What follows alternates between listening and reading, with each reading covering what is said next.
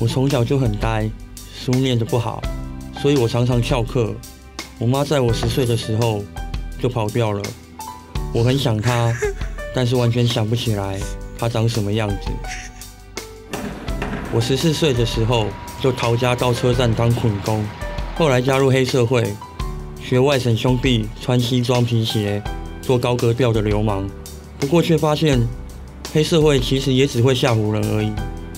但我却连吓唬人都学不会，只能帮忙跑腿买烟，偶尔打架去凑凑人数，而且每次打输我都跑最后。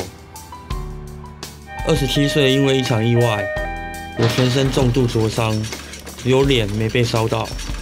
我在医院躺了半年，因为太痛了，也不敢做复健。后来被送到安养院，旁边躺的不是老人就是植物人。有时候我急着要上厕所，叫了很久也没人理我。想到要一辈子当活，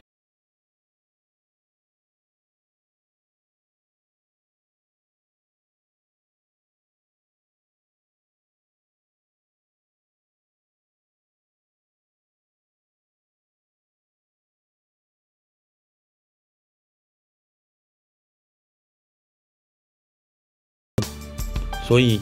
我还是决定自己去找智慧。几年前，我决定把家当全部送人，自己想去哪就去哪，偶尔打零工，帮人挖坟墓，或是开宣传车。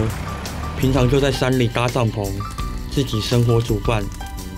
很多人认为我很可怜，其实我很快乐。为了赚钱去勾心斗角，对我来说，那样才更可怜。